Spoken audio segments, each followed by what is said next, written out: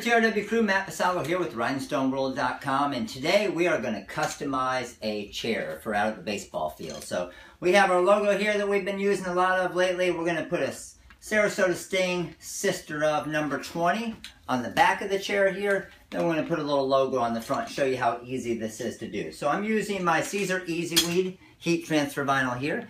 As you can see, this is a two color design, so obviously it needed two separate cuts. We're going to go with the black first, so I'm just going to stick that to the wall here. And let's go ahead and get this lined up on our 16 by 20 Hotronix Autoclam heat press. So what I'm going to do is I'm just going to go on the corner of the press. Now you can get smaller platens to make this a lot easier, but you can still do it if you still have your big 16 by 20 platen. I'm going to go ahead and get a quick pre-press here. And then I'm going to come down with my material here. And I'm just going to get this lined up nice. Now what you could do if you wanted to, see how it's moving around a little bit? You can actually use some heat tape as well. And I think that's what I'm going to do. So I'm going to grab some heat tape here. Alright, so I got some heat tape here. You can also use hot fix tape if you don't have heat tape.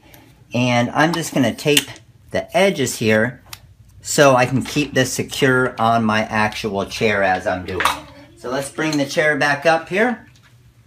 Get it lined up in the corner.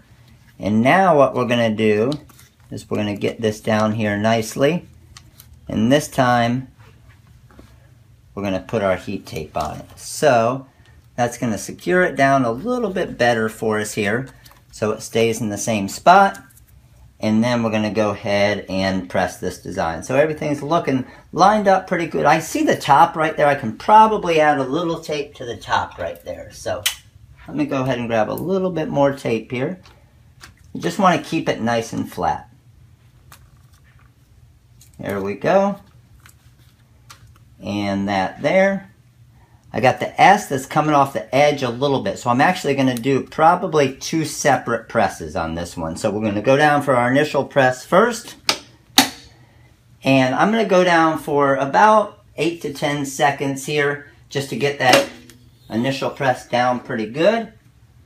And let's start peeling it up slowly just to make sure it got, now I'm not sure if it got the bottom of that S, which it looks like it did. Perfect. All right, so now what we did, you can see I just brought a chair over here and I just have our chair sitting on a chair. Now I have our orange and we're gonna go ahead and layer this on top here. So let's go ahead and get our orange lined up nicely here. I'm going to press that down. Get this spread out. Press this down here. So that's looking like it's lined up pretty good there. We got our gray showing through on the chair. And then we can come down with our press here. And we're going to get that two color. It's actually going to be a three color look with only two heat transfer vinyl. So again, I'm going to go about 8 to 10 seconds here. Let's go ahead and pull this up. We can slowly start pulling this off here. And you can see how awesome that looks. So we have our Sarasota Sting, sister of number 20 on the back of the chair now. And then we're just going to put the logo real quick on the front. So this one should be a lot easier. We got a lot less, a lot more room to actually work with.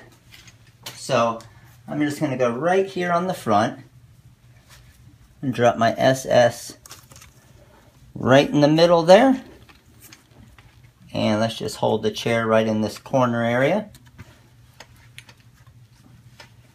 So just got to make sure the chair is all the way open because as the chair folds, your area starts to close a little bit. So that looks pretty good right there, right in the middle. I would say that's looking pretty straight. Let's go ahead and press this down. And this one I'm only going to do about four to five seconds because I know I have a good press on it. We'll slowly start peeling that off and you can see that black hit it perfect. And now we're going to come back, we're going to use a little bit of our heat tape.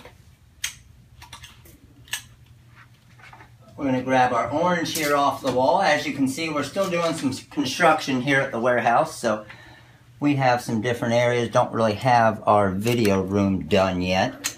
but we are still going to teach all of you how to do everything we know. So let me go ahead and open this up. Let's get our SS lined up perfect here. That's looking great right there. Everything's lined up nice.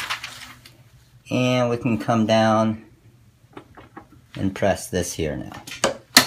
And now I'm going to go about 8 to 10 seconds for my full application for the logo on the front here. So you can see, you get a little creative. You can actually take this off. You can take this material off with a couple tools, but save some time. I knew I could still press this, and you can see we have our logo on the front now. We have our Sarasota Sting Sister of number 20 on the back customized chair, something pretty cool is going to get you some attention out of those fields. So hope this video helped you out. If you do have any questions, make sure to give us a call. Number's 941-755-1696. This is Matt with the rhinestoneworld.com. You guys have a great day.